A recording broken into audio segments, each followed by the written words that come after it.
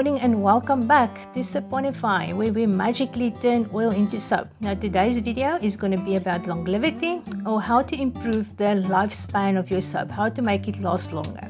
So I'm just going to jump into the soap making calculator that I use to show you where to find the longevity number and um, to just show you how they got to that number and then all the other stuff that is going to influence how long your soap lasts in the shower. I like to use Soap Making Friend um, just check in the description box. Um, I will leave links to on how to use the soap calculator if you're new to it and how to save unlimited amounts of um, recipes on it and so on. So um, I'm just going to open it. It's soapmakingfriend.com recipes. I'm just going to click on a new recipe.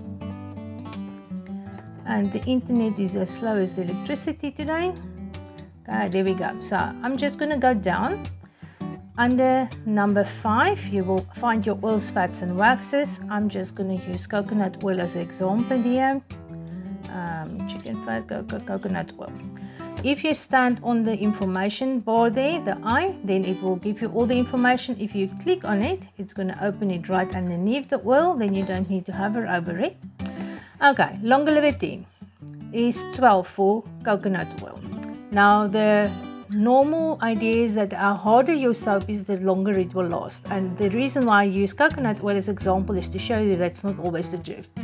Okay, longevity. Coconut oil gives you a very, very hard bar of soap. Here it shows the hardness is 79. But how they get to longevity is they take the hardness and subtract cleansing from that and then you get your longer longevity number. So we've got hardness is 79 Cleansing is 67, so 79 um, take away 67 is going to give you 12. So this is where they get the longevity number from. Now they only take these two factors um, into account to get to the longevity number, but there's more stuff that's going to influence it. But before we get there, let's just quickly look at our um, fatty acids in our soap. Your palmitic acid and your stearic acid are two of the less soluble um, fatty acids in soap. So they're going to give you a harder soap. They're going to give you a hard soap, but they're also not going to um, dissolve as quickly as some of the others. Lauric acid, um, we've got 48% in coconut oil. Lauric acid is what gives you those big, big bubbles and um, very high cleansing value. Um, it is also very soluble as a soap. So lauric acid, the higher the lauric acid is, the higher is your sol solubility in your soap. Okay, so those are the three fatty acids that has actually got lots of influence on your longevity. Okay, let's quickly check on other things, additives. As you know, you can add lots of stuff to your soap. Now, salt is one of them. Salt will give you a harder bar of soap, but salt also kills a little bit of your bubbles. It could be noticeable, it could not be noticeable. It depends on how much you're going to add to your soap. So, um, if you're adding salt to your soap, it can maybe increase the longevity a little bit more.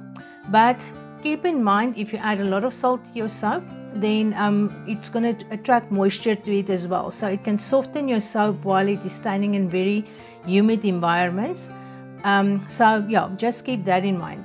Another thing that you can add to your soap, what people love to do, is to add sugar to your soap. Now sugar increases your bubbles um, which is a lovely thing if you want more bubbles. But remember, the more bubbles, the more you're going to dissolve your soap as well. So if you add a lot of sugar to your um, recipe, into your soap, then it can decrease the lifespan of your soap. Okay, another thing is uh, moisture, water content in your soap and around your soap. Now, if you look at your moisture content in your soap, if you use a high um, uh, uh, 1 to 2, 1 to 3, especially with your uh, process soaps, you use more water to make your soap. Now, that water must evaporate out of your soap. Now, here in South Africa, everybody is very familiar to sunlight soap. Now, when I grew up, grandma or even my mom will um, buy the soap, take it out of the packet and say, you know what, if you take it out of the packet, and just leave it a bit then it's going to last longer. Now the reason for that is sunlight soap starts with a it's a very soft soap when you buy it. And when you leave it out then you actually just evaporate the extra um, moisture out of it. It um, is a harder border soap and then it just lasts longer as well. Now this is the same with your natural soaps that we make. Um, when you dissolve ach, dissolve if you evaporate um, moisture out of it then it's going to be harder and your soap is going to last longer as well. Which bring me to the point on how you store your soap. If you are using soap and it's in a shower and it stays wet all the time, then it obviously is going to get even more um, even softer and then it's not going to last as long. So get a nice soap rack that you lift it out of the water. Um, if it can dry in between uses it's going to last longer as well and I think I've got everything let me just quickly check here um, I've got the soap dish and everything lauric acid cleansing da, da, da. I think I've covered all of them. I didn't skip anything. So I hope this is going to help you to let your soap last longer, to make a harder bar of soap. And yeah, stay safe, be blessed. Until I see you guys next time, and just enjoy your soap making. Bye.